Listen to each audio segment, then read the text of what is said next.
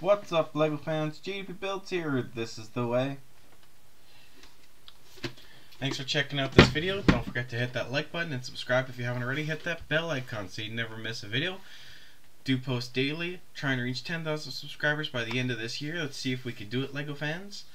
So today I'm doing a show off of the LEGO Star Wars Knights of Ren transport ship, set number 75128 came out comes with three minifigures came out in 2020 it's retired it's got 595 pieces. Danger the knights of ren are chasing rey in their transport ship. This awesome hover vehicle moves at light speed and the knights can see everything from the cockpit.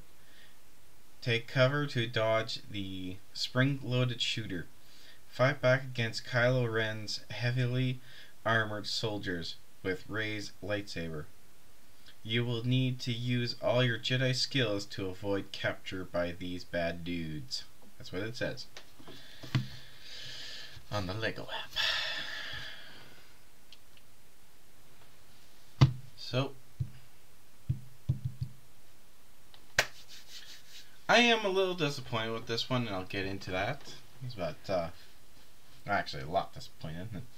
So here's Rey. She's got some nice front printing, leg printing, and some back printing. Double printed head. Comes with the lightsaber. Luke's lightsaber. Well, Anakin's lightsaber.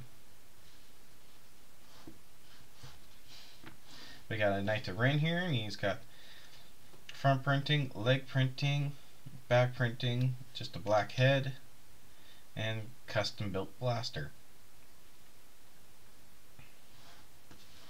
Then we got another Knight of Ren here. The you both have unique helmets, too, by the way. He comes with a blaster, also built too because it's got binoculars on it to make it longer. Uh, front printing, leg printing, back printing. Again, just a black head. Not much to see there.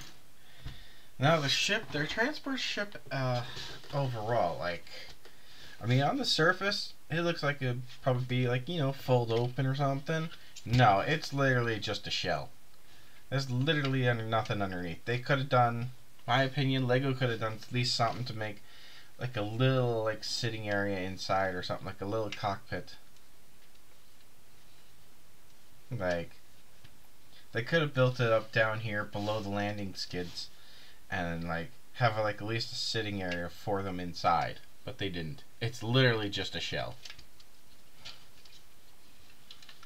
Like there's two hatches that do open up and minifigures could sit in there, but that's it.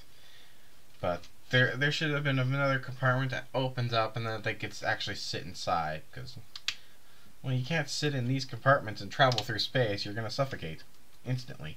So you got two spring-loaded shooters right here up front on either side. You got cannons here that are are movable, adjustable, goes up and down, and these ones go up and down.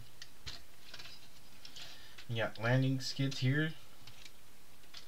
The engines are back here. Yeah, that's really it for the ship. Like I said, they should they could have done more, but they chose not to. They they could have filled in this entire area and made like a little room, sitting room in there or something, like a cockpit or something. But they didn't. They chose not to. So. That's why I'm disappointed in this set that it's literally just a shell. It's just a shell. I guess that's what you get for being in the First Orders. You just get ships that are just shells. Nothing inside. Yeah, a little short little video for today. no speed build obviously because I didn't record this one building and such. So Anywho, thanks for checking out this video. Don't forget to hit that like button and subscribe if you haven't already. Hit that bell icon so you never miss a video. I do post daily, trying to reach 10,000 subscribers by the end of this year. It would really help me out. And see you all in the next video, LEGO fans. Stay safe out there. Watch out for yourself. Watch out for your family. Tell them you love them. See you all in the next video. This is JDP Builds. This is the way.